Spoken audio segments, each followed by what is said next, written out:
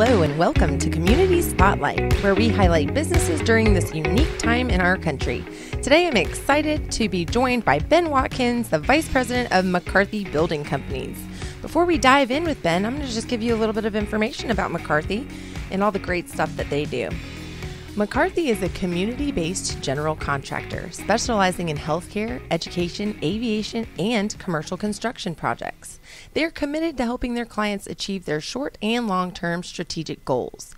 Their McCarthy Partnership for Women believes in diverse perspectives driving better outcomes, and they are thrilled to be on Business Radio X Community Spotlight today. How are you, Ben? Welcome to the show. I'm doing great, and thanks for having me today for the show. Well, you guys are doing a lot of moving and shaking at McCarthy, so I'd like to dive right in and just give you the opportunity to share with us what's been going on in your world.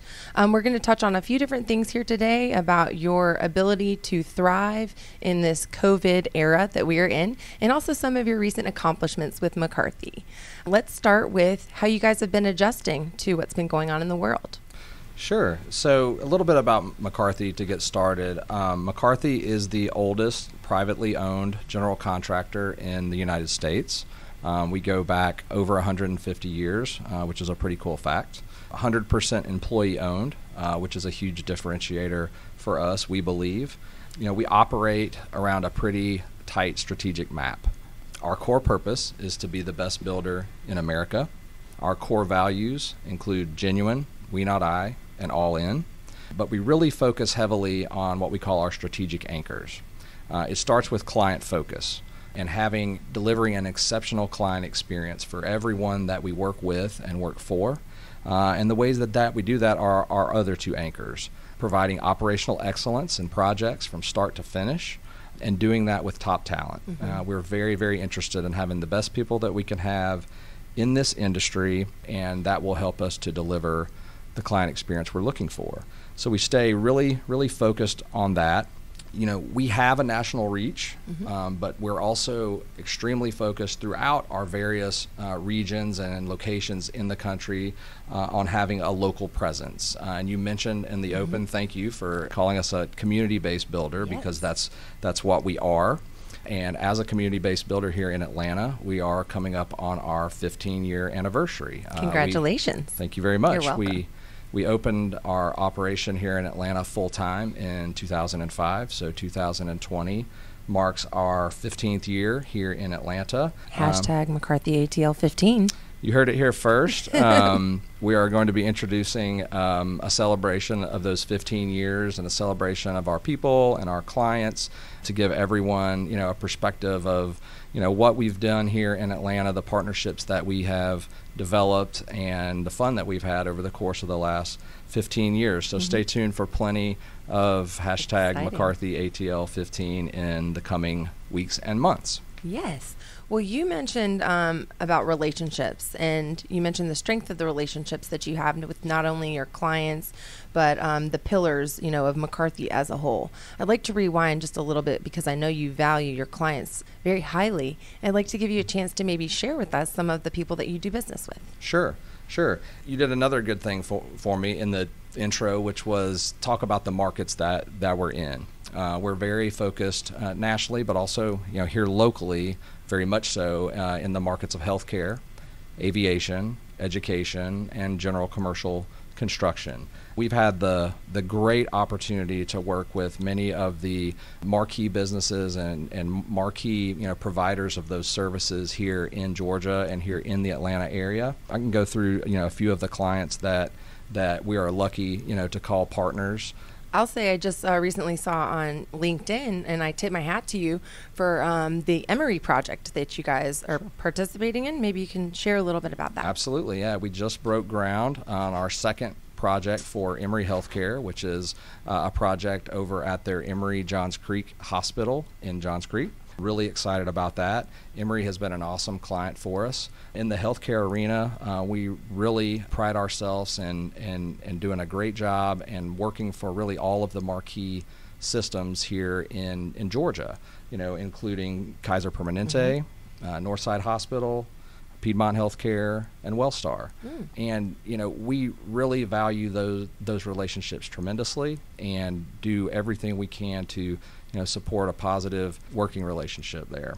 I want to give you the opportunity to share a little bit more about your partners and the projects, but I want to dive in just a little bit right here because of the emphasis that you put on the relationship and the care that you take with your partners.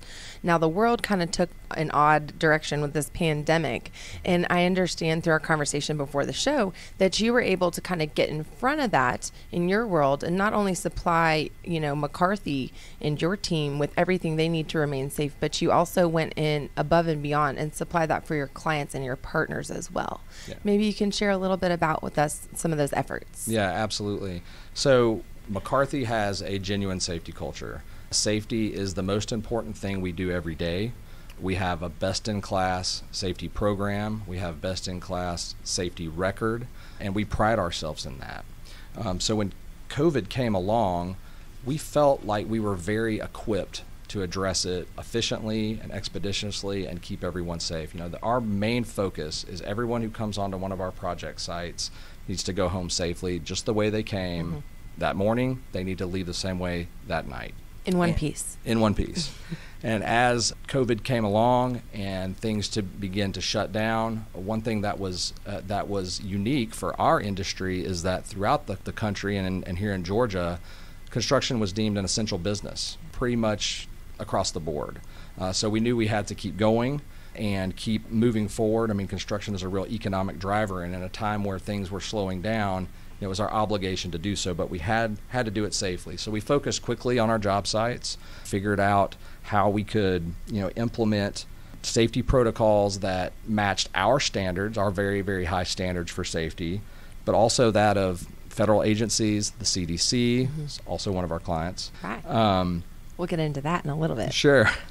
State government and local government, uh, and come up with adaptations to our safety plan and our and our safety program that were effective, efficient, and again, most importantly, kept everyone safe on a day-to-day basis. Now we're we're currently, you know, in the process of starting to safely repopulate our offices, uh, and we have a whole other set of protocols for that, um, which has been nice to get people sort of back back into their normal environments as we can safely. I mean, right. we have a lot of uh, flexibility around telecommuting as well, uh, which is which has been also a nice thing to do during the quarantine period.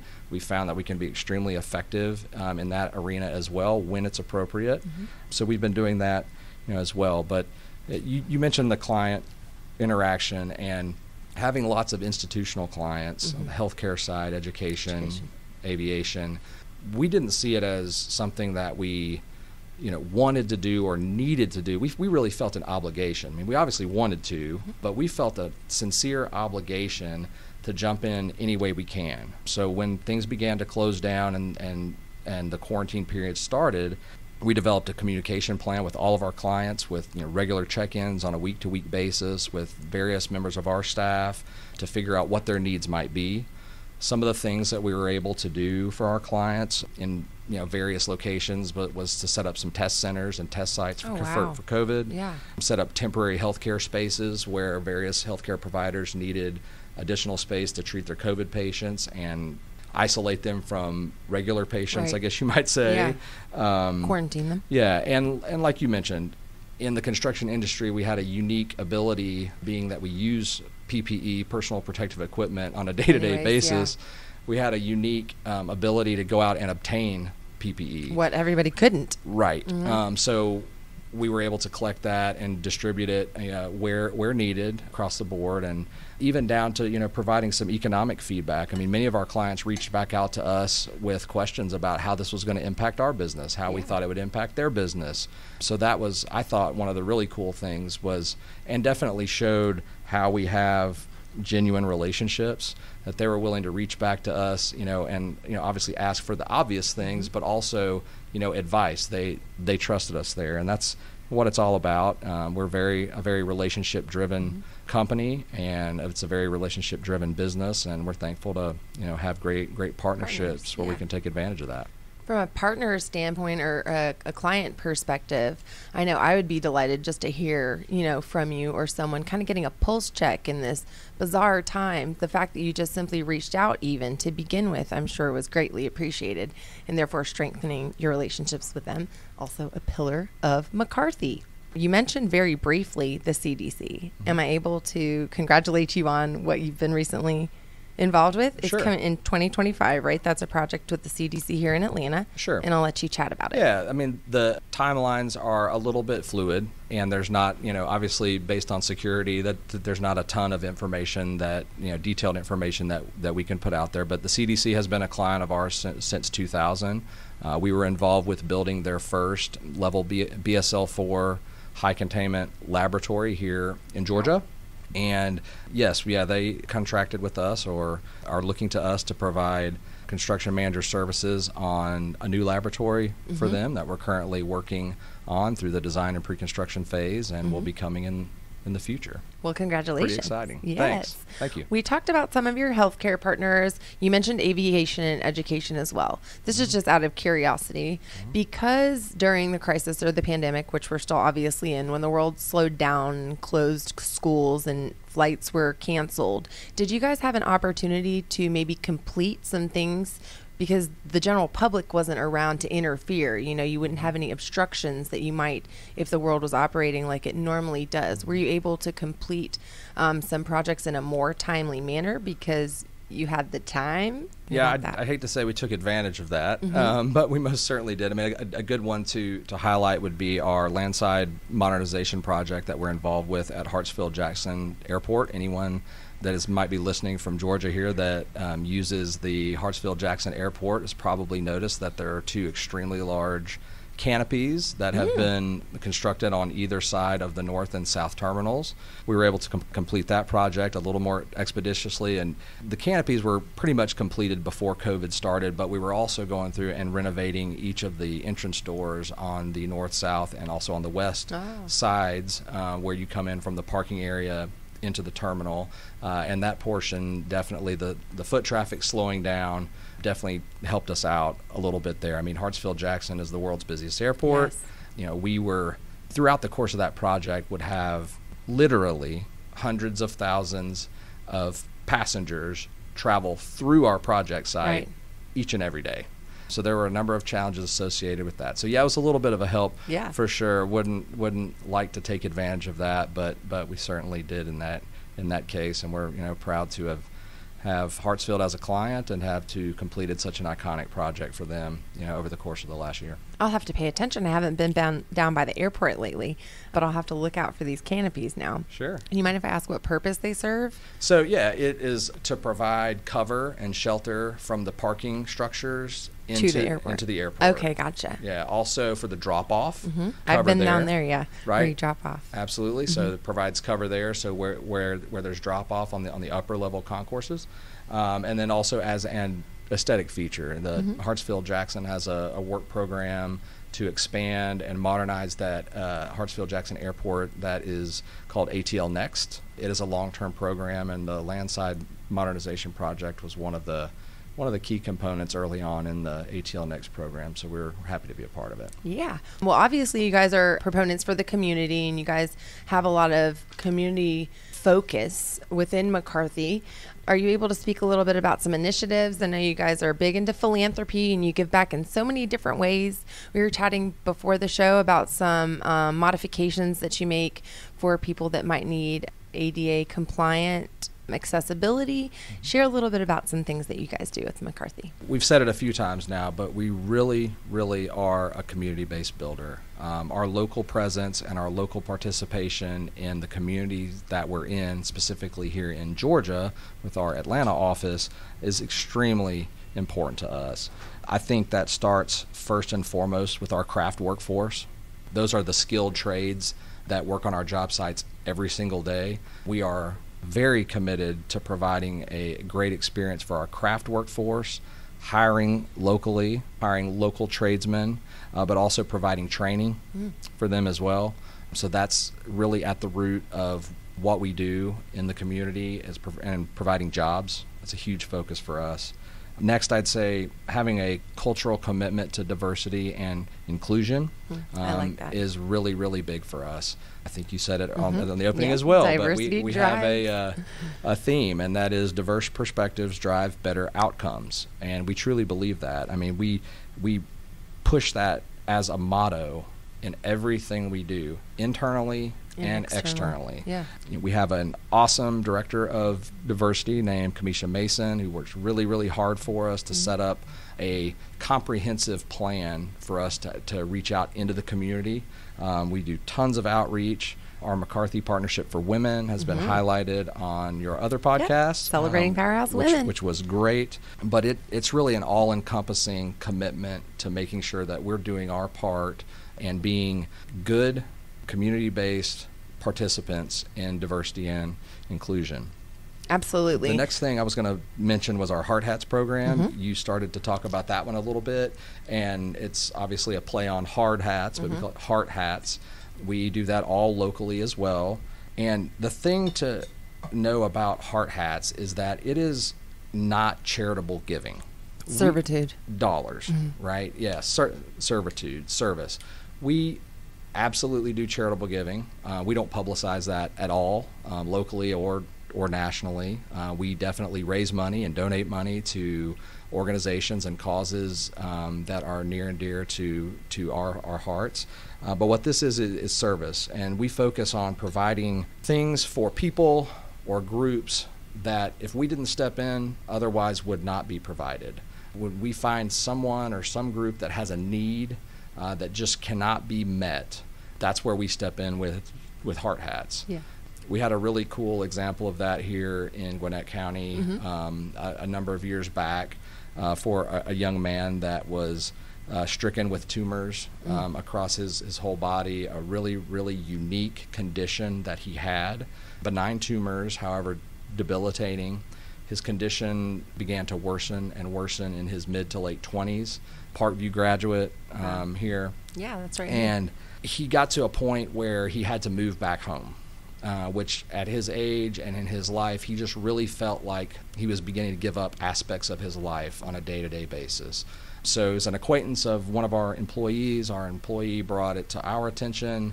So what we decided to do was go to his home his parents home that he was moving back into and turn their basement into essentially his his place, uh, a place he could call his. And have Um, independence. exactly, exactly. So we did a lot of things to help with accessibility, so he could get around his his place uh, and and and use it um, efficiently, uh, but also put some nice touches on it, like for instance, putting in a sidewalk from the street and a door into the basement to where his friends could, if they wanted to stop by and hang out, they could just knock on his door. Yeah, that's and he could nice. answer his own door and do so. And we know that that was really, really impactful for him, and it's just a good example. We do a lot of Heart Hats projects for CHOA as Mm-hmm. well when they have patients um, that are wheelchair bound uh, or need accessibility. We've done tons and tons and tons of ramps when they go home from the hospital. They show up home with an accessible home that has a ramp where they can get in the house and get around, and that's been very rewarding as well. I bet that was a tremendous help to those patients when they got home. Yeah. And how cool that you're involved on such a personal level and on the ground level as well as, you know, a macro level. You're doing things like huge projects with the CDC, but there's nothing too small for you guys to tackle as a team. For instance, helping an individual that is, you know, near and dear to your heart. So Absolutely. I applaud your hard hat efforts. Um, I've heard Anna speak about it uh, once before. She's enthusiastic about that program also. Yeah, the key again to our whole community involvement piece is is being local. I mean, we are a big national company, a national contractor, but being in the community community based builder and having that local presence is huge. I mean, our people that work for us, our craft labor, folks in our office and on our job sites, they live here mm-hmm. in Georgia, in Atlanta, and Gwinnett County, and the surrounding counties. They work here, they live here, their children go to school here, they go to church here, they do business here. Right. Being ingrained in the community Itself, is yeah. what we are all about. And being able to do that locally is, has been Very very rewarding for us and Yeah. uh, I think I think we've we, we've definitely helped some people along the way, which is which is key. I would agree. Well, I have to say, you guys do a fantastic job of participating. You're out in the field, you're out in the community. When I first connected with someone on your team, it was about two years ago, and it was at a young professionals event here in Gwinnett. I didn't know very much about McCarthy. I had seen the red logo before with the hat, but I got to learn over the past couple of years so much about what you guys do, and it was through a community based event that I met someone on your team. So Absolutely. you guys do a fantastic job of saturating the, the local market, the hyper local market. You handed me this awesome little card whenever you came in and it's your core values. And I can't quit looking at the we, not I, because that's so profound, not just for business, but as life as a whole. And you mentioned your commitment to culture within McCarthy and how you guys kind of impede that upon you know business and what you guys do. You also have the all in here. I'd like for you to tell us just a little bit more. Maybe you can unpack those for us. Just kind of tell us why they're so important to you guys. The core values. At the beginning you know i mentioned the strategic map and it is really something that has been a huge a huge driver for us. We try to work in everything we do around the strategic map and the core values are a huge part of that. You know just to touch on each one briefly Genuine is really all about having respect, having respect for the people that we work with internally and externally.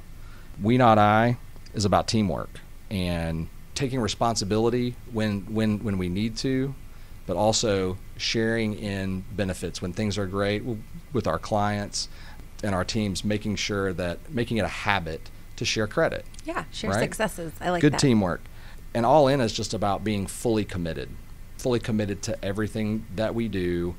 No sort of kind of being half committed or partially committed um, into any endeavor we have, whether that's a, like you mentioned a minute ago, whether that's a huge project for Hartsfield Jackson or it is a accessibility ramp for a child that just came home from CHOA, mm-hmm. right? Really, really, really important to be all in. I, I think what drives that is our ownership culture within our company. I mentioned at the beginning we're 100% employee owned. That's great. Um, it really does drive our, our, culture. Each and every one of us, you know, our company's name is McCarthy. But one way that we describe it all the time is as an employee owner, you really feel like your name is the sign on the door. You know, it could be, you know, Watkins or, right. or Pearch. Uh-huh building companies. Yeah. And that's a huge driver. And we just want to really take ownership in everything we do, be accountable for the results, and deliver an experience that's that's great for all of our all of our partners throughout the industry. And just the verbiage, all in, makes you feel like you're on a team. You're a part of something. And just like you say, well, it's the old adage, there's no I in team. Mm-hmm. Um, but when you say that we are all in, I, f- I feel like I'm a part of your team, Ben. we are all in. You are a part of yeah, team. I tip my hat to you guys. You guys are, are moving and shaking in the community, and I'm so thrilled for you guys. Your achievement of 15 years, that's a mile marker. I can't wait for the next 15 months to, so you can reveal some of the projects that you've been doing. Um, I'm very curious about those. I know that we're going to give some information about how anybody that would like to learn more about your projects or if they're interested in doing business with McCarthy, um, they can go to the website. And what's that website? Yeah, it's ben? simple. Just www.mccarthy.com for our subcontractors or consultant partners, they can contact us that way. There's pre-qualification. Uh, my contact information is right there. Um, you can contact Amanda. She can give you my contact information as well, and I'll get you where where you need to be. But all of our information is there at McCarthy.com, and feel free to, to go Reach check out. us out. Yeah, and we'll include that in the show notes as well, so anybody listening can have that easily accessible. Ben, I do have to thank you so much for joining us today. It's been very exciting learning about McCarthy. Um, hashtag McCarthy ATL 15, folks. Thank you so much for joining us on Community Spotlight. I'm Amanda Pearch, and we'll catch you next time.